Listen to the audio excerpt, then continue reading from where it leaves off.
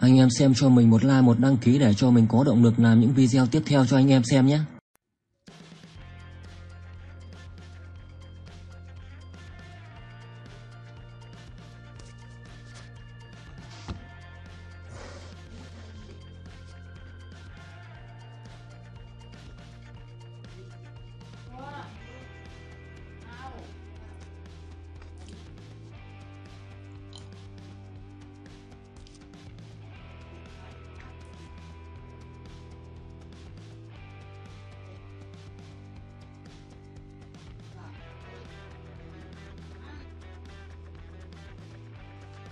Giờ đi thì cũng thôi, không ngờ đến chăn đệm cũng mang đi mất. Đúng là lừa mình dối người mà. Nhưng mà nói đi cũng phải nói lại. Nguyệt Minh không vì sự phản bội và thù hận của kiếp trước mà đến bản thân mình cũng có thể chủ động từ bỏ. Thủ đoạn lý trí như vậy nếu như ta không can thiệp, cứ để mặc cho nàng ta báo thù, thật không biết cuối cùng sẽ còn phát triển tới bước nào đây. Vai diễn thú vị như thế này, nếu không có ân oán kiếp trước của nàng ta, ta cũng thật muốn dùng một trái tim bình thường để đối đãi với nàng ta rồi. Khí vận chi lữ của Nguyệt Minh không sát tâm dao động, giá trị vận khí tăng 500 điểm, giá trị thiên mệnh tăng 2.500 điểm. Xem ra chuyện giống như ta nghĩ, chắc chắn là Nguyệt Minh không bây giờ đang hoài nghi ta lúc này, sao lại khác với kiếp trước, thậm chí còn cảm giác có phải là do sự biến đổi của ta, là do ảnh hưởng của nàng ta trùng sinh. Nữ nhân dù gì? Nữ nhân dù là lý, tị, lý tính hay là cảm tính? Cảm tính thì phần, thì phần lớn đều vào giác quan thứ sáu của mình. Ta chỉ cần khiến cho nàng ta phát hiện một chút dấu tích Đương nhiên nàng ta sẽ đoán ra được rất nhiều chuyện.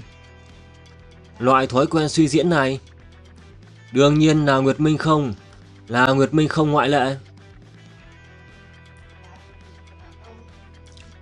Phiền phức nhỏ tạm thời được giải quyết. Chuyện trở về thiên đạo tiên cùng cũng nên ghi vào lịch trình rồi. Hoàn Nhi, ngươi thấy thiếu chủ trường ca là người như thế nào? Tuy bên ngoài nói tính cách thiếu chủ trường ca lạnh lùng khó khăn, nhưng Hoàn Nhi thấy tính tình của thiếu chủ ôn hòa tiếp đãi người rất là thiện trí. Đối xử với chữ đến như người cũng rất là ôn nhu nữa. Ôn nhu. Chuyện đi tới cố gia này phát sinh quá nhiều chuyện mà bản thân mình không dự tính được. Không biết tại sao, trước mắt của hắn ta cứ không chiếm được chút tiện nghi nào vậy. Cố trường ca, dù ta đã làm người ở hai kiếp, nhưng ta vẫn không thể nào nhìn thấu người. Dù thế nào ta tuyệt đối không thể, ta tuyệt đối không để yên đâu. Vết thương mà ngươi gây ra cho ta, ta nhất định là sẽ dần dần trả lại người. Đất tiên khí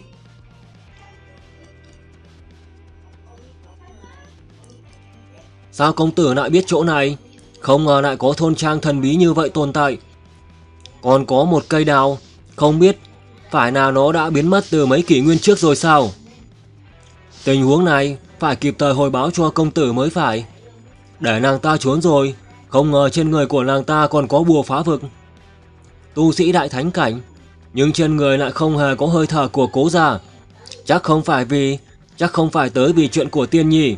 Vậy là ai đây? Xem ra sự yên, sự yên tĩnh bao nhiêu năm nay của cây đào cuối cùng cũng bị phá vỡ rồi. Thượng giới, lội vực, vô lượng thiên. Tiên tộc lâu đời nghịch tiên bảo thuật. Chuyển lại giá thấp cho người có duyên. Chuẩn thánh dược hơn 8 vạn năm, đầu tiên tùy, đầu giá tùy duyên.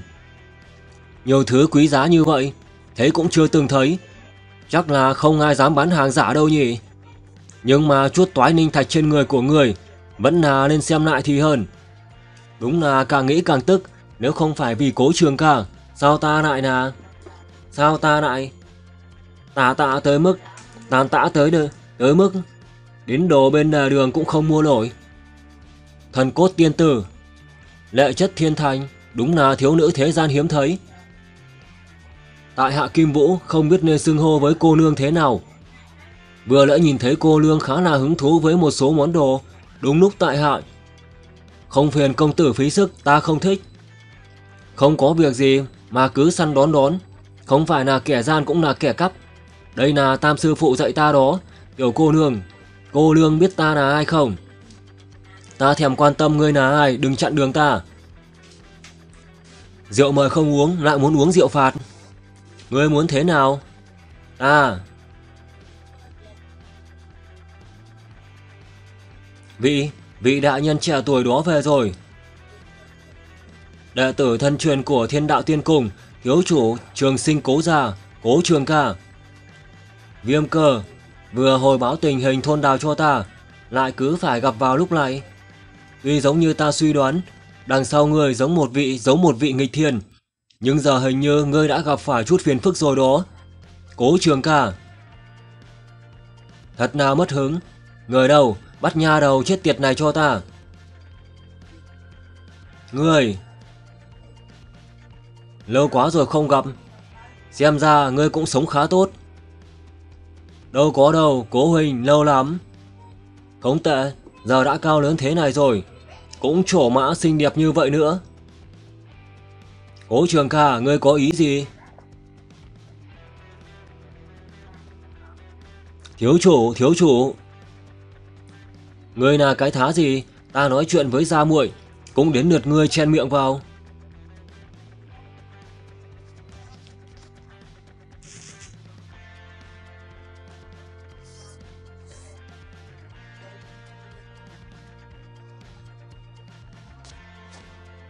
Muội muội, chẳng lẽ cố?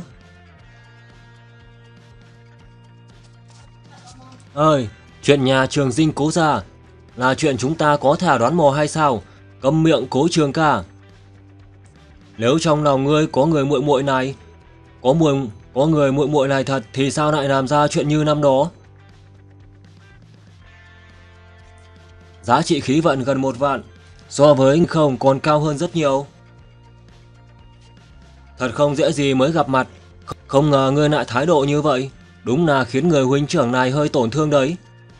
Nếu ngươi tới đây chỉ là muốn ta biến muốn ta biết hành tung của ngươi đều nằm trong tầm kiểm soát của ngươi thì ta nghĩ là không cần đâu.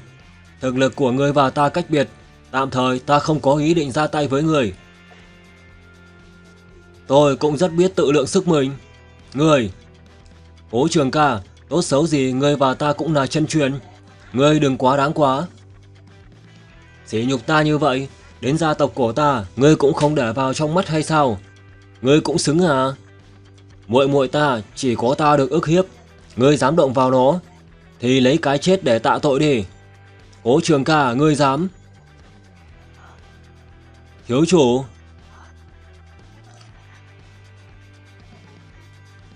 Tụ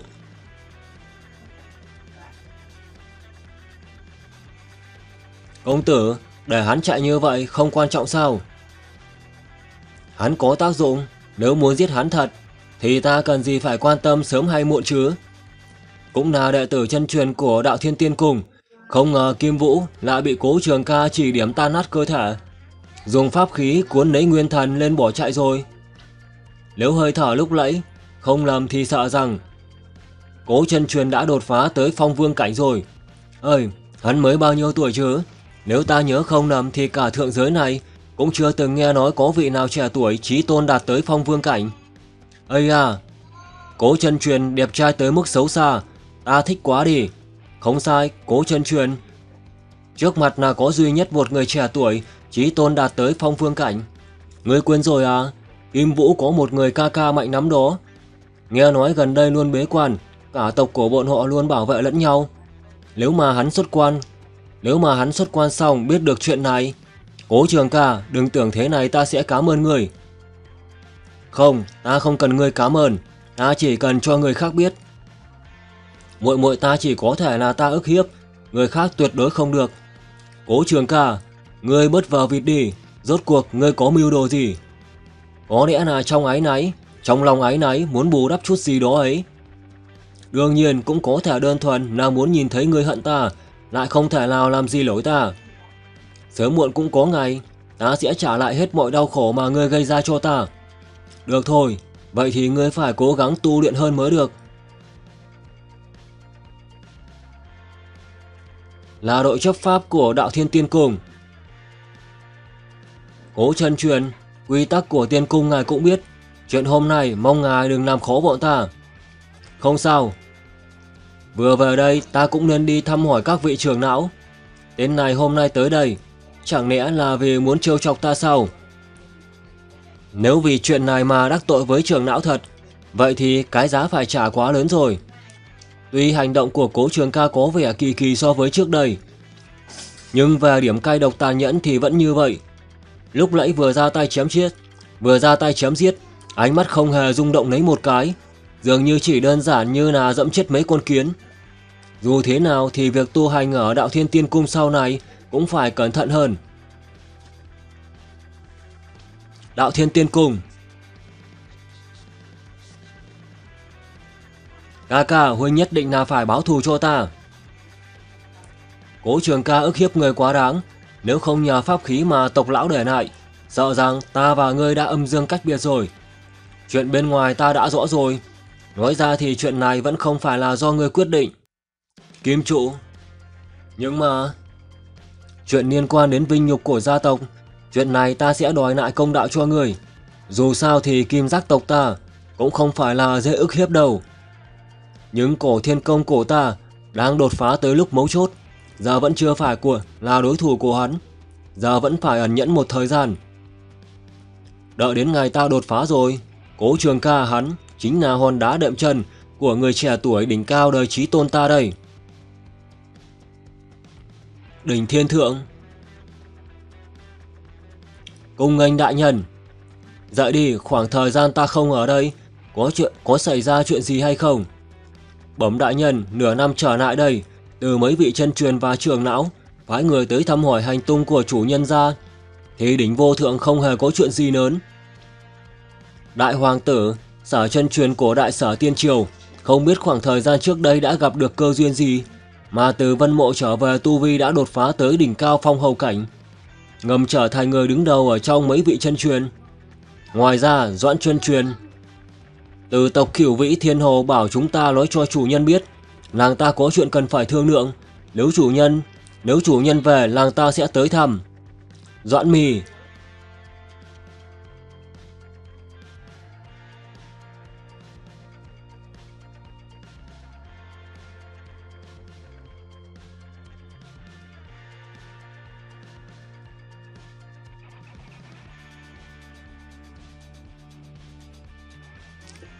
tiêu hao 8.000 giá trị thiên mệnh để tăng tu vi tới phong vương cảnh trung kỳ.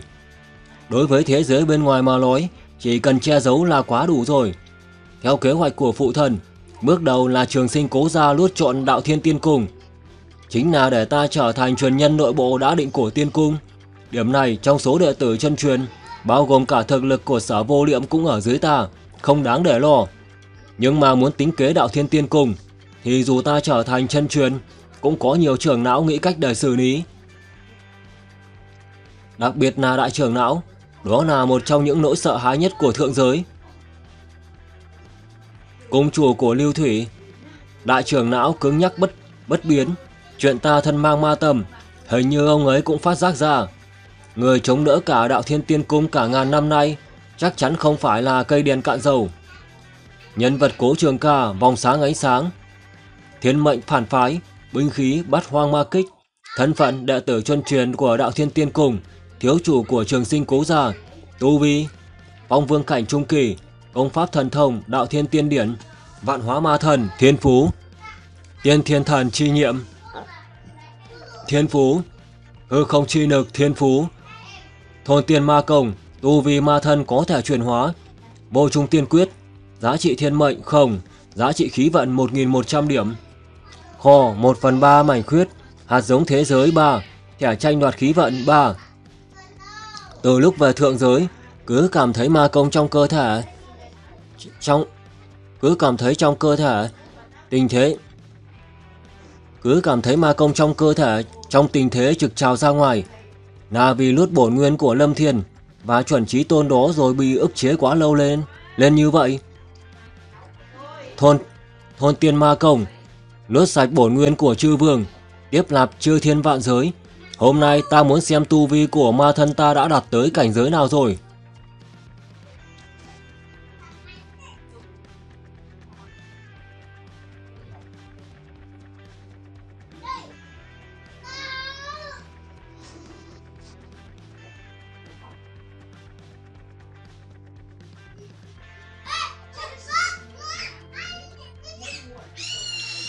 Phong vương cảnh trung kỳ. Phong vương cảnh hậu kỳ. Đỉnh cao phong vương cảnh. Hư thần cảnh tiên kỳ. Hư thần cảnh trung kỳ. Đỉnh cao hư thần cảnh. Chân thần cảnh tiên kỳ. Chân thần cảnh trung kỳ. Đỉnh cao chân thần cảnh. Bán bộ thiên thần cảnh.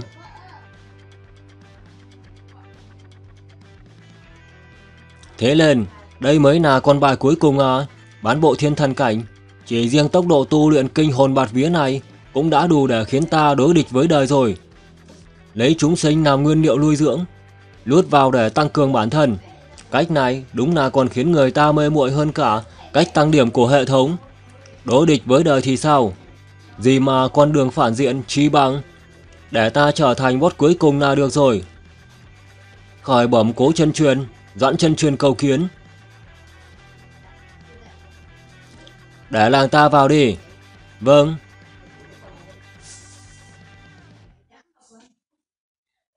Chủ nhân, nhìn bộ dạng bây giờ của nàng ta, thật khó tưởng tượng trước đây nàng ta vì vị trí chân truyền mà hạ độc thủ với ta. Nhưng sau khi bị ta cấy vào tâm ma cổ, lại ngoan ngoãn hơn rất nhiều. Tính toán xem, thời gian tâm ma cổ phát tác mỗi lần, một năm cũng tới rồi. Đây là thuốc giải của người. Đa tạ chủ nhân. Thu thập thế nào rồi? Bẩm chủ nhân, nửa năm trở lại đây, Doãn mi thu thập được không ít bổn nguyên huyết mạch thể chất đặc biệt. Giờ đang để trong bảo khố.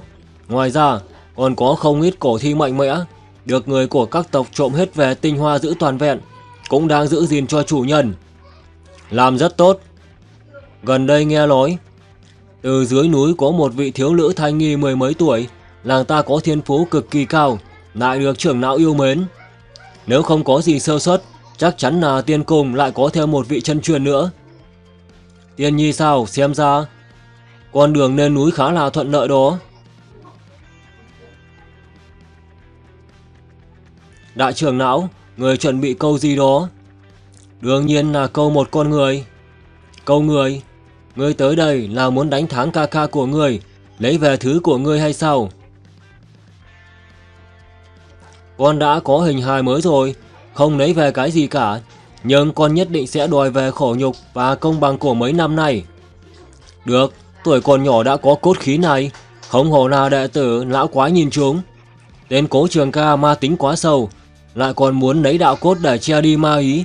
Ơi, ngày đầu hắn vào môn phái ta đã ngửi ra rồi. Vị trí chân truyền của đạo thiên tiên cung ta tuyệt đối không thể nào giao cho người không đàng hoàng. Tiên nhi nha đầu, ta biết mục đích con tới đây. Nếu muốn ta nhận con làm đồ đệ, con phải chứng minh cho ta thấy con có thể vượt qua ca ca đó của con. Vậy, vậy lên chứng minh thế nào? Đạo thiên nộ Ghi chép ban đầu vượt qua cố trường ca, làm được không?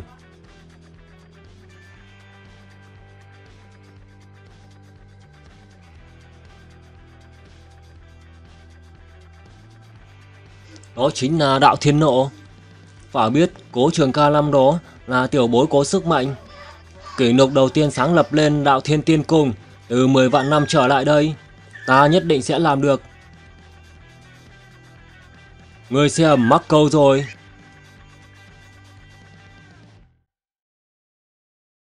Tiên triều đại sở sở vô liệm.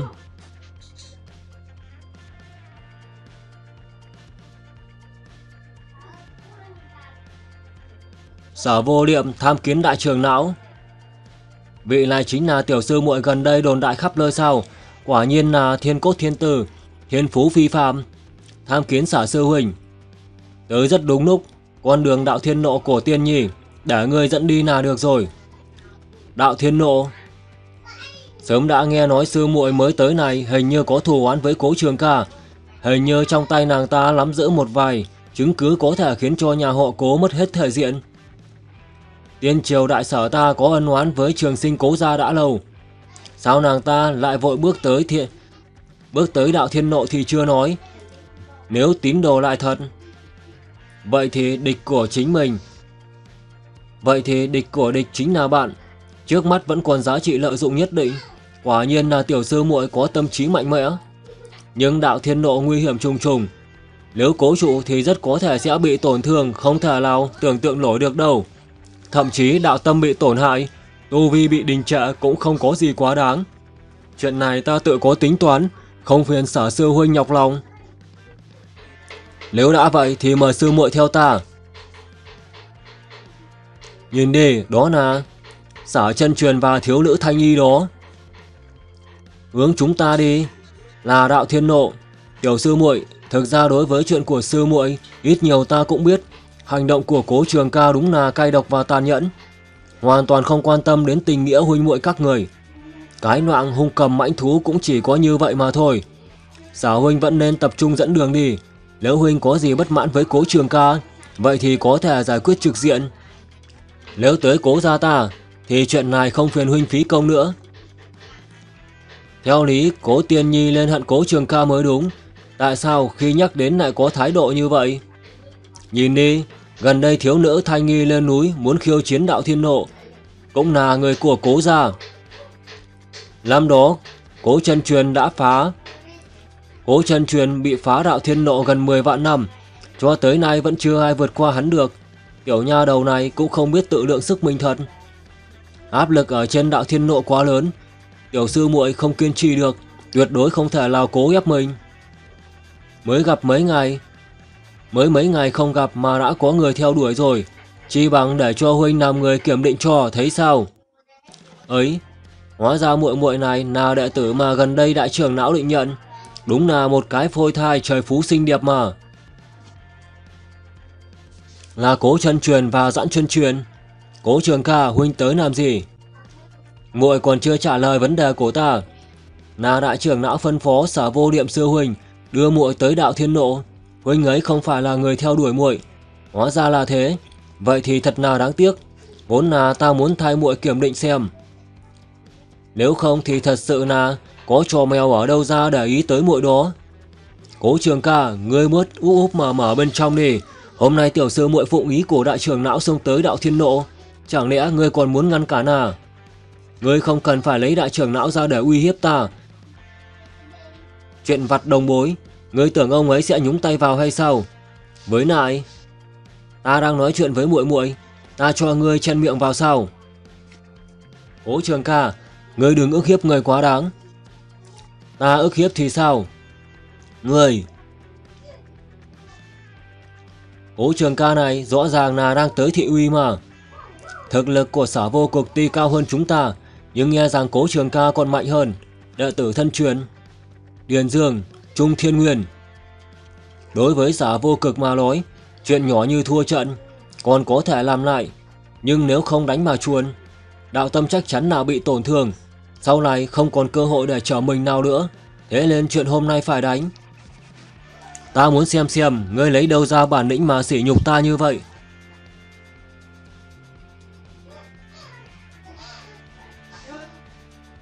Là ngự long trưởng, mau tránh ra. Đây chính là cái tự tin cho ngươi ra tay với ta.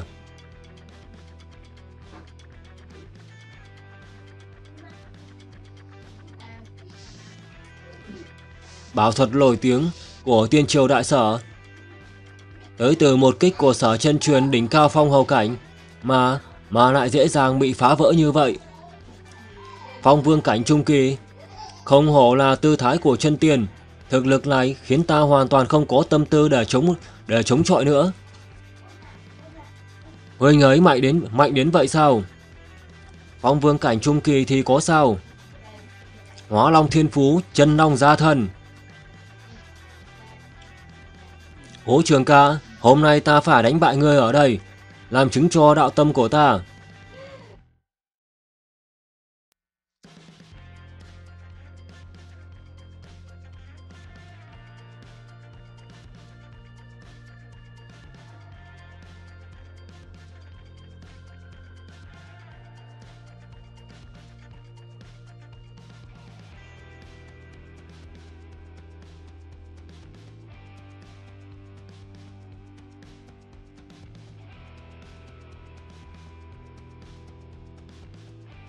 Một một cái tát.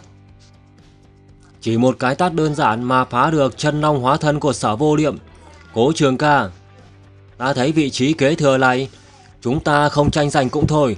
Nếu rơi vào kết cục như là sở vô niệm, vậy thì mất hết tất cả rồi. Ồ nào thế còn ra thể thống gì? Nếu mới thế đã bị dọa sợ rồi thì làm sao ngươi đảm đương nổi? Ôi, sao chủ nhân không giết hắn luôn? Dù sao sở vô niệm cũng là hoàng tử của tiên triều đại sở, giết hắn trước bàn dân thiên hạ sẽ có chút phiền phức. Hôm nay ta ra tay, với sở vô niệm, ngoài thị uy dân chúng ra, cũng là khiến trường não trong tiên cung biết. Chỉ cần còn cố trường ca ta một ngày, thì những người khác đều không có tư cách tranh giành vị trí kế thừa với ta.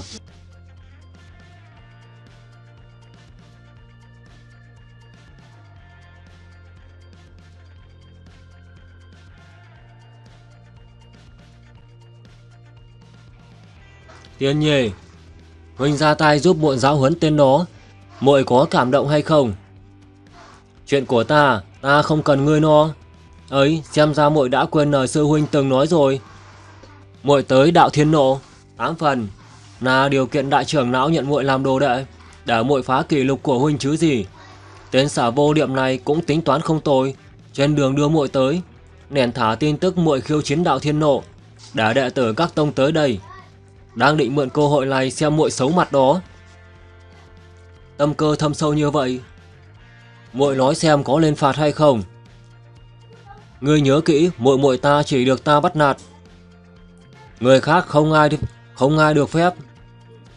Theo lẽ thường mà nói, sau khi xả vô niệm, vị tiên nhi từ chối sẽ sinh ra oán niệm, định động chân động tay ở đạo thiên nộ khiến cho các tông nhân xem chuyện nực cười. Kết quả lại là tiên nhi biểu hiện mạnh mẽ, đánh mạnh vào mặt mọi người. Thuận tiện cũng kích thích người anh trai này, nhân cơ hội khiêu chiến với ta. Nhưng mà hướng đi như vậy, ta cứ thích làm trái lại đó. Chắc giờ cái não nhỏ của tiên nhi sắp bị ta làm cho choáng váng rồi nhỉ? Không phải muốn khiêu chiến đạo thiên nộ thôi sao? Vì huynh rất mong chờ biểu hiện của muội đó. Chắc đi tới bước giống như huynh cũng không phải chuyện gì khó với muội. Người, người nghĩ ta có thể phá được kỷ lục của người? Muội muội ngốc, lỗ lực mấy năm nay của muội huynh đều nhìn thấy. Nếu đến ta cũng không tin muội, vậy thì còn ai tin muội? Đáng lẽ không phải thế này đâu mà. Chỉ dựa vào cố tiền nhi cũng muốn bằng ta, đừng nằm mơ giữa ban ngày nữa. Chẳng lẽ tình hình mấy năm nay của ta hắn đều biết hết, thế nên hắn biết nơi ta ẩn thân, vậy mà không có ý đuổi cùng giết tận. Chuyện năm đó chẳng lẽ là hắn có lỗi khổ riêng? Không không, hành động ác liệt như vậy sao chỉ là một câu lỗi khổ riêng là giải thích được? Gây ra đó làm gì? Mọi người đang đợi muội khiêu chiến đạo thiên nộ đó.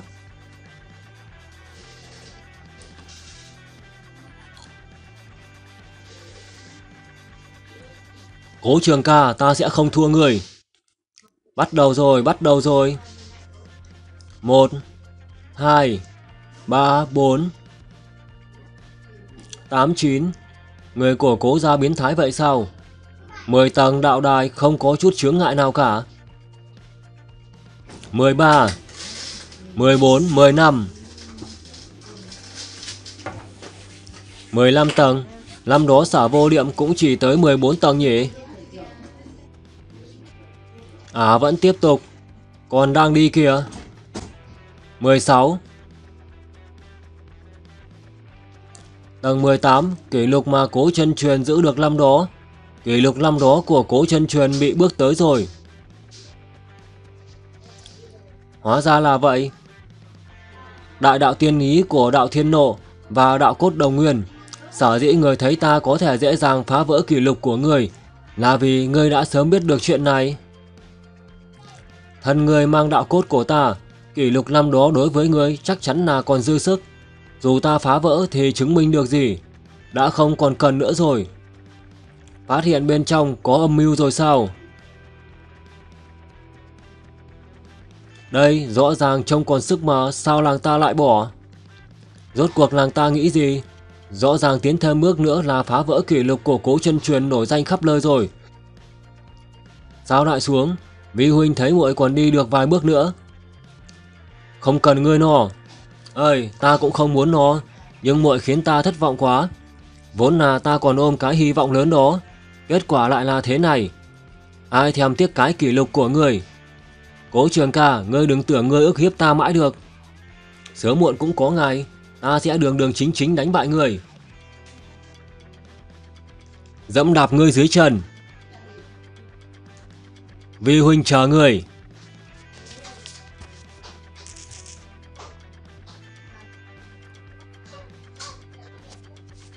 Huyền Thanh Thiên, Thái cổ tiên tộc Diệp gia. Tiểu thư đã mấy tháng trôi qua rồi, cô có còn áy náy về chuyện của Diệp Trần hay không? Dì Tuyết đang nói gì vậy? Diệp Trần chỉ là con kiến, lòng chứa ý đồ bất chính mà thôi. Sao con lại áy náy vì hắn chứ? Chỉ là con cảm thấy từ sau khi xuống hạ giới về, hình như ký ức của con đã mất đi cái gì đó, mà lại thêm được cái gì đó. Rốt cuộc là cái gì nhỉ? Tiểu muội còn đang thất thần hay sao? Truyền nhân của Diệp gia Thái tổ tiên tộc, Diệp Lãng Thiên. Công tử, ca ca, gần đây có nghe ngóng được tin tức về thiếu chủ cố trường ca của trường sinh cố gia hay không? Việc gì tiểu muội phải nhắc đến chuyện cố trường ca đó? Nghe nói thời gian trước hắn đã xuống hạ giới tìm đồ, trùng hợp muội gặp phải hắn. Sao giờ cứ nhớ nhung hắn không quên, là tiểu tử đó ức hiếp muội à?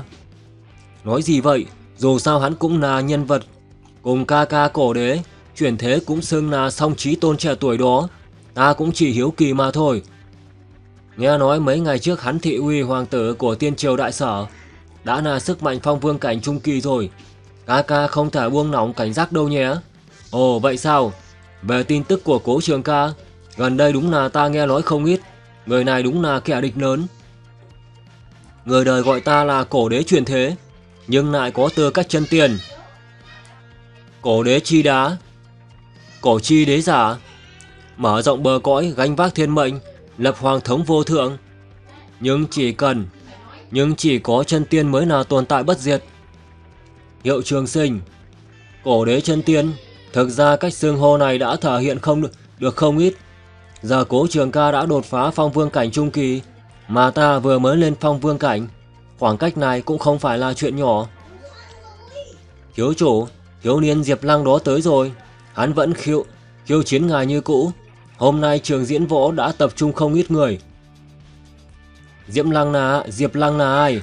Một người ngoài hệ tộc cũng dám ba lần bảy lượt khiêu chiến ca ca.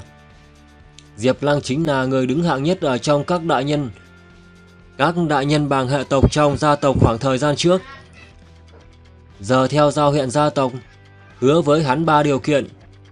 Một trong những chuyện mà hắn yêu cầu là khiêu chiến ta, cũng là đòi lại vị trí truyền nhân mà năm đó ta giành được. Thất thủ làm phụ thân của hắn bị thương lên đòi lại công lý. Không phải chuyện này ca ca đã đền bù cho họ một món lớn rồi sao? Ta nhớ lúc đó họ nhận rồi mà. Nói không sai, nhưng hình như gần đây tiểu tử đó gặp cơ duyên gì đó khiến tu vi tăng mạnh. Giờ cứ phát huy theo điều kiện đó, nói gì mà chủ hệ xem thường bang hệ, gây lên một trận sao động trong tộc. Ngoài mặt nói chuyện dễ nghe, nhưng thực ra là mượn cơ hội này diễu võ dương ngoài mà thôi. Đi đi, dù hắn có mục đích gì, thì thứ gia tộc hứa, chẳng phải là lên thực hiện hay sao? Tiên triều tiên tiên triều tiên xong, Vĩnh Chú Thiền Tiên Thành Theo dòng thời gian, chắc tuyệt minh thiên đã giáng lâm rồi. Dù sao thì vũ trụ lâu đời hiện hóa ở mấy phường, chuyện này sẽ trở thành đạo chính thống đè lạc trong các tộc. Đại giáo các phương cũng nên xây dựng thư viện chân tiên, chọn ra đệ tử của các thế lực ưu tú nhất nằm chân tiên rồi. Tiên nộ của Đại Thiên Tiên Cung hiện ra rồi. Phu quân tốt của Ma miu tính kế bạn Tính kế hoạch bái vào đạo thiên tiên cung đã lâu, chắc cũng vì chuyện này. Năm đó bảo vật tiên ninh quan trọng nhất của tiên nộ, xuất thế một lần kinh động tới các cường giả đua nhau tới tranh cướp. Nhưng nó lại biến mất vào lúc then chốt. Nhưng tới nay, chắc chắn là cố trường ca nén ra tay rồi, lướt hết những con đường khủng bố trước mắt rồi. Phu quân tốt của ta, ta biết ngươi có ma công cấm kỵ, Tu vi thật sự chắc chắn là không chỉ đơn giản như vẻ bề ngoài. Đến cuối cùng, Tiên Nhi cũng rơi vào cảnh bị ngươi lút mất bổn nguyên, im tiếng biến mất. Là một con cờ có lợi, xé rách mặt của người, xé rách mặt thật của ngươi. Đời này ta nhất định là sẽ bảo vệ cho nó. Nếu nhớ không lầm thì trong thời gian này, truyền nhân luân hồi cổ thiên tôn cũng xuất hiện rồi. Thứ trong tay của hắn, chứa cổ phù luân hồi chi lực, ta nhất định là phải tính kế lấy được. Hình nhờ là Diệp Lăng thì phải. Cố trường ca, có chuyện gì thì ngươi nói thẳng đi. Giữa ta với ngươi cần gì phải vòng vo tam quốc. Cũng không có gì. Chỉ là cảm ơn đại trưởng não chỉ dạy cho muội muội của ta thôi. Thiên tư của thiên nhi rất cao, lại là người trẻ trí tôn niết bàn. Lão Phu tự sẽ tận tâm chỉ bảo, còn ngươi chạy tới đây giả làm người tốt làm gì? Thành kiến của đại trưởng não đối với ta hình như là rất sâu sắc nhỉ? Thân nào huynh trưởng đương nhiên ta rất vui vì thấy tiên nhi có thành tựu tới một ngày sẽ vượt qua ta. Đâu phải là giả làm người tốt như ngài nói. Ơi, nếu như ngươi có ý tốt này thật, tại sao ban đầu lại làm ra chuyện đào xương? Trong chuyện này là bí mật của cố gia, món nợ với tiên nhi. Ta sẽ đền bù. Đại trưởng não vẫn nên làm tốt chuyện trong phạm vi của mình là được. Ơi, ân oán của ngươi và tiên nhi não phu không quản nhiều. Trừ mấy lời nhảm nhí ra, thì ngươi còn chuyện gì không? Nếu tiên nhi đã bái đại trưởng não làm thầy, thân làm huynh trưởng ta cũng phải tới xem xem. Nguyên nhân chủ yếu bên trong vẫn là sợ đại trưởng não vì nguyên do ở ta lên quá hà khắc với tiên nhi đúng không? Bố trường ca, người đang chất vấn cách hành xử của lão phu. Cố trường ca, người đừng hòng loạn ngôn. Sư tôn rất tốt với ta, không phải như ngươi nghĩ đâu. Tiên nhi à tiên nhi, ngội suy nghĩ đơn thuần. Tao hiểu được thế gian hiểm ác. Có những não già, lão nhân gia xấu xa lắm. Được được được, nhiều năm như vậy, là lần đầu tiên tiểu bối dám nói thế với ta. Tuy biết ngươi cố làm chuyện ác chọc giận não phu, nhưng không thể nào không nói là ngươi đã thành công rồi. Nếu đã vậy, lão phu sẽ theo ý người, dạy dỗ tiên nhi, sau này cho nó dễ dàng chấn áp người. Sư tôn, nếu, nếu ông không làm được thì sao? Sư, nếu ta không làm được, ta sẽ từ bỏ vị trí đại trưởng não. Dù có để người làm truyền nhân của tiên cung, cũng chẳng có gì không được. Ơi, nhãi danh, tao muốn xem xem ngươi muốn giở trò gì. Não già, ta đợi câu này của ông đấy.